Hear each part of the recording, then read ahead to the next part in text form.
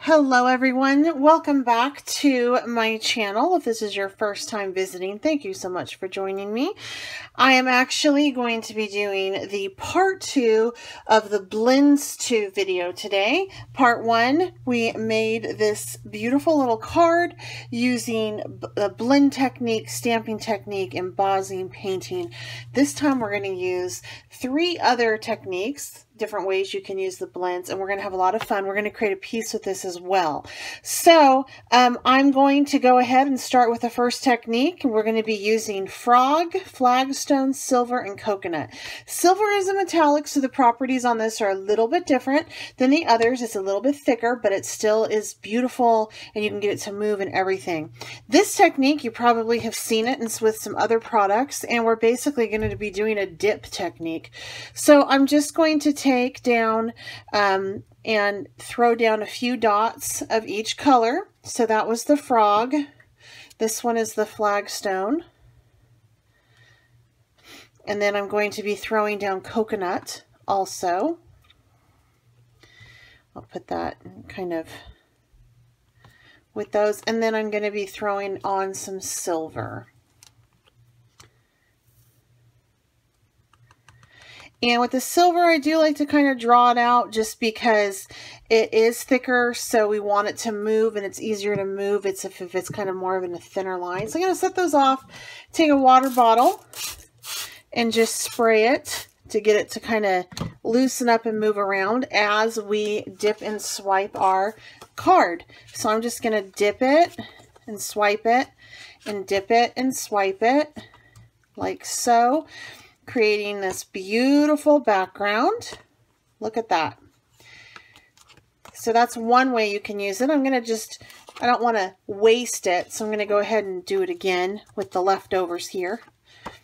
And the more you mix the colors, the more blended they look and you get more of a watercolory uh, type background, but it's so pretty. So we're going to set this off aside to dry and then we're going to move on to our second technique. But I want you to remember this. Remember these because we're going to be using them in our final project. Okay, so for this technique, it is going to be utilizing the gel press plate. This is the only ink that I know of that I have been able to successfully use on the gel press plate. It is beautiful. We're going to be pulling at least two prints off of this and we're going to be using this again in our final project and once this is dipped, because the, the color on this is so intense, so vibrant, it is wet, we are going to be utilizing the glistening glass embossing powder as well as the polished silver. These are also by Eileen Hull. You can get them in her Etsy store. They're fantastic. They are um, thick embossing powder. So they have a very cool look and it's such a wonderful way to create a background piece is to throw it on. So the first thing I'm going to do is I'm going to throw down some wild, actually no, excuse me, I'm going to throw down some rose gold.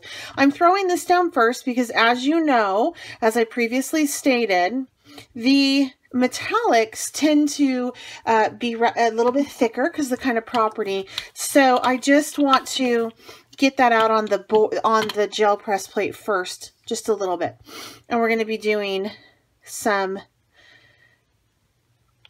uniform. That's a lot of ink. I think we're going to get more than two pulls on this, which is fine. Uniform. This is a beautiful. It looks like a looks like a military uniform. We're going to do some pansy, which is a lovely purple. And then we're going to do some wild berry.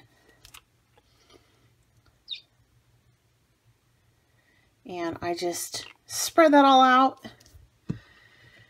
And then from here, I'm going to take my brayer, brayer it out like so. And look how intense and beautiful that is. So we're going to lay down probably, we're going to probably get three pulls off of this. This one, and it's, I am brayering over the back because I need that back also to have some color on it with the technique that I'm, the project we're going to use. It's going to utilize both sides. So it's going to, this is perfect. Like it's going to be really cool. So how pretty is that? And then let's see what the press looks like. Look at that. So from here, I'm just going to lay that off. It does take a while to dry. So I want to just lay that off for now because we are going to emboss it in a second. I'm going to do it again because I think I can get another pretty good pull off of this.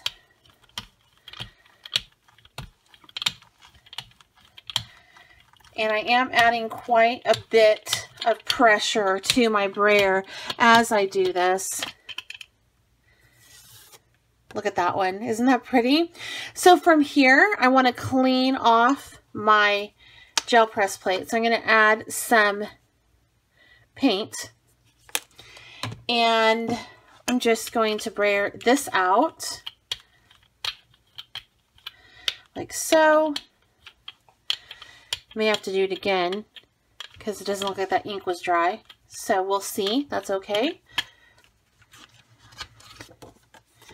And then I'm just going to lay out another piece. I like that muted in the back. I think that's so pretty, that muted.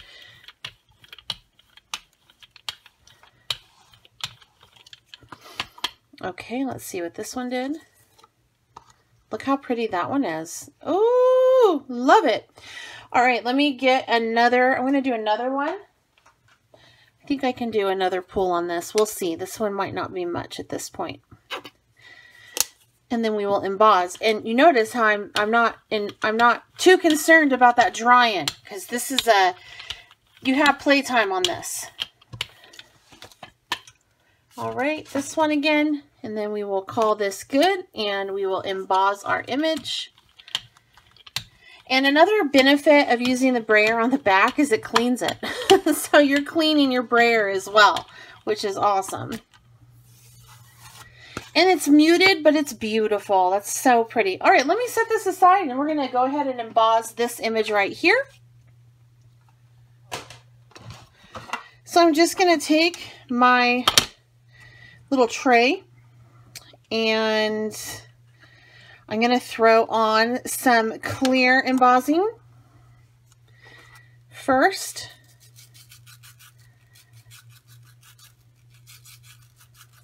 Kind of all over the place. Let that kind of move around.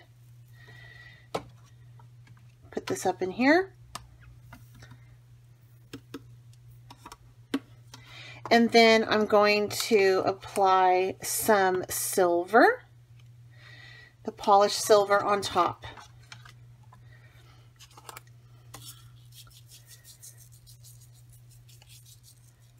Just like that. And then again, we're going to tap off the extra. And we will heat set that and you are going to see how gorgeous this is. Love this stuff.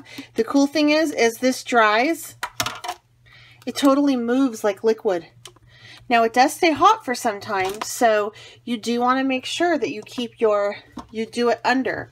Uh, because this thick, so we're going to go under and start to melt it, and then we'll go on top. But it does stay hot, so be careful when you touch it.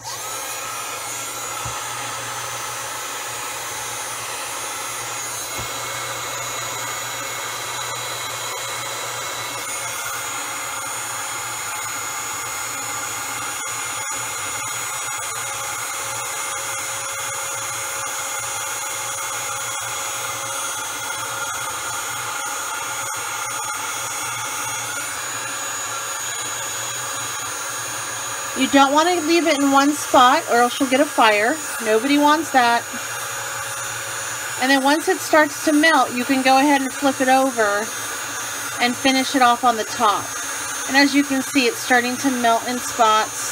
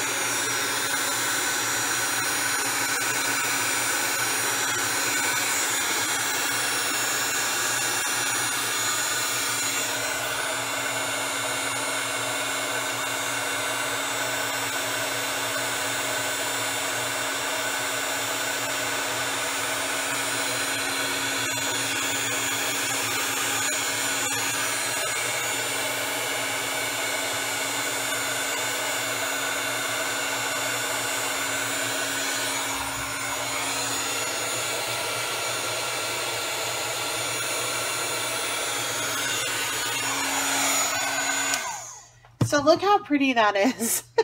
Isn't that cool? So this is actually going to be our back piece for our mixed media piece that we're going to work on um, because I just, I love it. I think maybe, maybe it won't. Maybe it'll be the centerpiece. Hmm, we'll see. So from here, once this cools, you can handle it, but we are going to move on to the next technique. This technique is one of my favorite. It brings me back to those days in preschool and when I taught preschool and then when I had kids of shaving cream. Now, I don't know if you guys know this, but the reason why I, as a preschool teacher, would have my little students playing shaving cream on the table was because it cleaned it. So that is kind of what I'm doing here. I always save this technique for the very last thing I'm going to do simply because it can clean up my surface for me because that is just whipped soap. So make sure that you buy a shaving cream that you enjoy the smell of. I just get Walmart's brand for like a buck 19 or 99 cents or something like that. And usually my 18 year old will steal it because his little brother who's 14 stole his. So I don't get much use out of this before it disappears out of my craft room.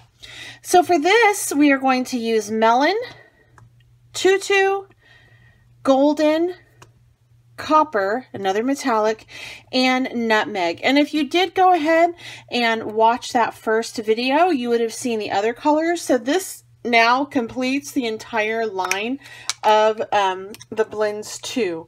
And I've demonstrated everything after this. So make sure you catch that. Also, at the end of the video, I am going to post a few pictures for you of what each color looks like um, in groups of three. I just blended them out and you'll be able to get a really nice visual. So if you want to see that, make sure you uh, stay um, watching. All right, so you're just going to take your foam. It does not take much, not even kidding. And you're just going to start to kind of, you know, lay out your color. I'm going to start with golden. And that's a lot. You don't need that much. You could really just do a drop, but I go kind of crazy, you know melon,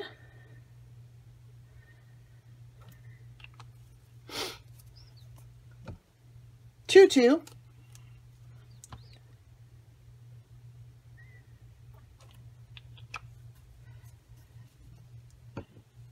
nutmeg,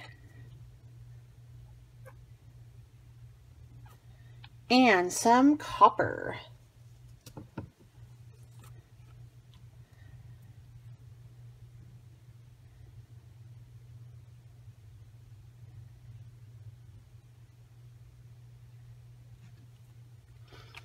And then we are just going to take our paper and lay it on in there and smoosh it around. Again, you're going to get several pulls from this. And you can dip and swipe the more you go.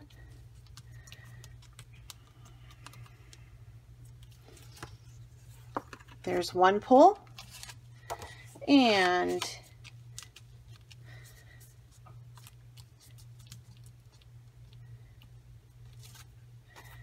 let's go ahead and do this. And these are turning out fantastic.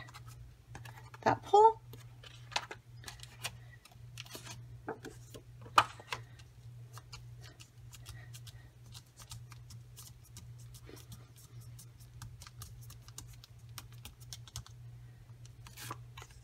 Ooh, look how pretty that one is. This is always such a wonderful discovery for me. and I'm going to try to get one more. So you can really lay down like half of the um, shaving cream that I did and get some beautiful pulls, you know, two or two, one or two pulls. So it doesn't really take much. Okay, so I'm going to show you what you can do. You can either let this dry naturally, um, and some of the shaving cream peaks will fall off, some will actually stay, or I'm going to show you what you can do to kind of pull that color out and uh, get it to dry a little quicker. What you can do is you can take a uh, any flat edge. If you have an old hotel key, this would work.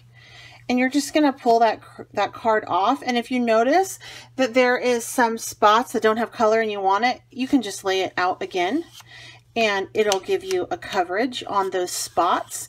So we're lifting the shaving cream and ink, but we're also laying it out in areas that we want more coverage on. How cool is that, huh? And then this is what you do and it'll dry much faster.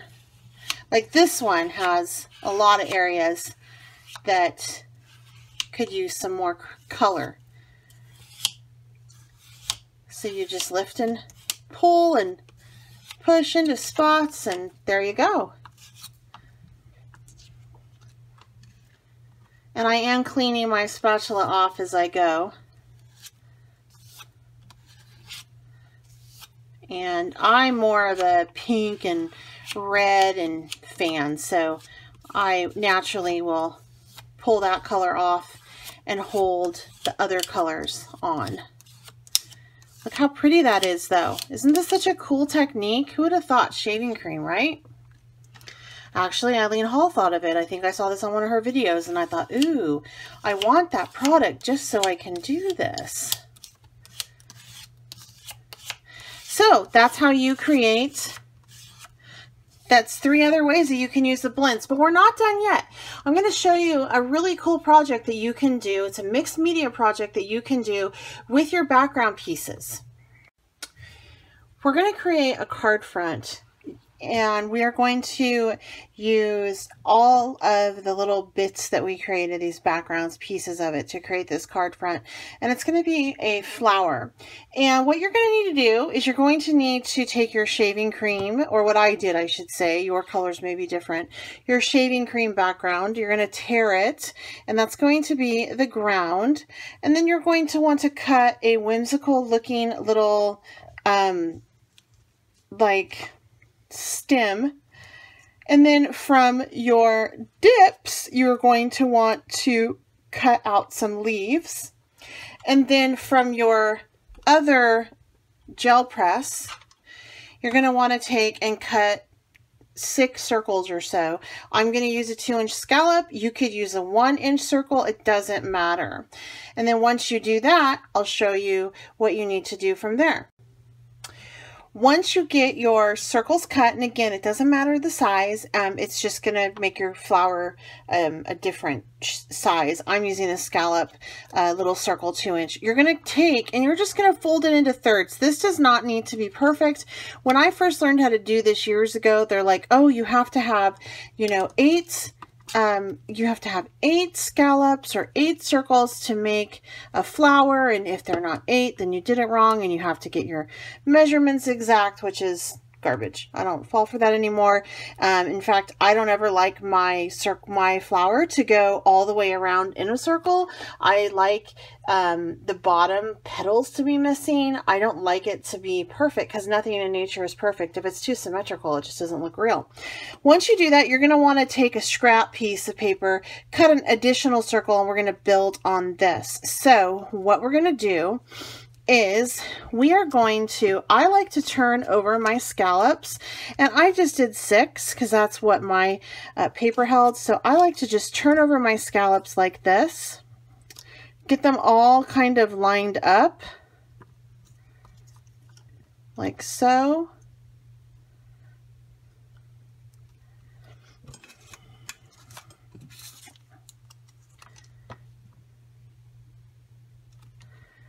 And then I like to adhere the backing once I get them lined up. And I like to use a good glue. I don't like to use um, a, I like to use a liquid adhesive because I can move it a little bit. And um, I really, for this project, I like the Beacon Mixed Media Glue because it allows me to move it around, but it's not so slow drying that I'm waiting forever. So I'm going to take this piece like this and I'm just going to smoosh it over on the top like that. And then I'm going to trim off the bottom, but I'm going to get that pretty far up there. Kind of smooshing it up. I'm going to carefully turn it over like so and then I can just straighten it out from here. And when I first started to make these, I used to try to build on that bottom circle, but that was way too complicated. This was so much easier. And then from here, once I get it all to my liking, I'm going to put the center on. And for the center, I took a one inch circle cut scrap piece of paper, cut it out, put some clear, um, the clear blends 2 on there, and then covered it with some silver, uh, polished silver embossing powder and that is going to go right there in the center for the center of my flower and it looks like it's going to fit just perfectly. I don't have to do any trimming which is always nice. Okay, so we're getting there. So I'm going to let this kind of set up for a minute or two. I don't want it to adhere to the mat, so I am going to pull this over and just rub my finger and get that off. Set that off to the side for just a second, and we're going to start to adhere this. So for this, I am using that beautiful background and you're just going to, again, I like the liquid mixed media. This is going on a textured embossed slick surface, so it's kind of important that you uh, use something that can adhere to more than just paper. Then we're going to add the floor, the ground, I should say.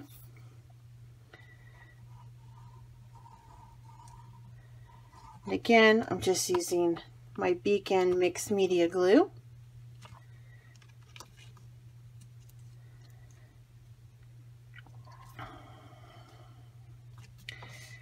And we're going to put our little leaves on.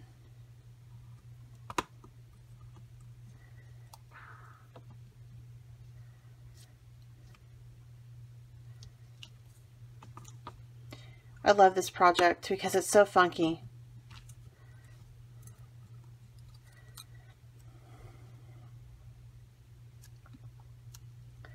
And you can slip that under if you want. I kind of like it over the top like that. And then from here, we're going to take our final piece and just get it set up so.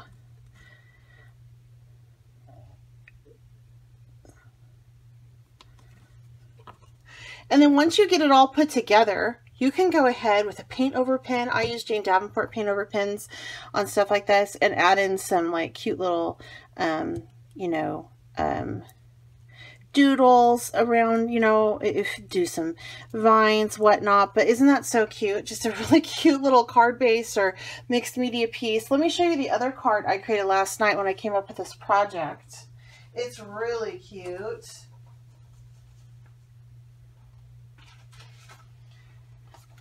So for this one, this is the one I did last night. I did a bling in the middle, but I really wanted to showcase how you can use only the blends and like your punches to create an entire piece of art. Um, and so that's why I didn't use a, a bling in the middle and I did it this way. Plus I like that a little bit better. But I went around the edges with a Jane Davenport paint over pen and uh, just kind of gave it some definition. I did use this piece is, um, this flower is what I did on the background on this, but I like this one better because I feel like I missed some of those background beauties that's on the back side of the flower, you know, and I really wanted that piece to shine through. Both of the pieces are really cute. There's so many different things that you can do with this technique. If you have background papers that you just don't know what to do about, I encourage you to just pull out your punches and start to punch and create and tear paper and see what you get because it is going to be a masterpiece. Again, make sure you stay tuned at the end of the video if you're interested to see what the blends colors look like. I do have swatches that I created and I will be posting for you to view. Also, if you're interested in any of the supplies, I will have them linked down below. Um, and if you enjoy this video, please give it a thumbs up. I hope you consider subscribing if you haven't done so. If you have any questions or comments, please leave them down below. I always love to hear from you guys. Until next time, I'm Betz Golden. Happy crafting.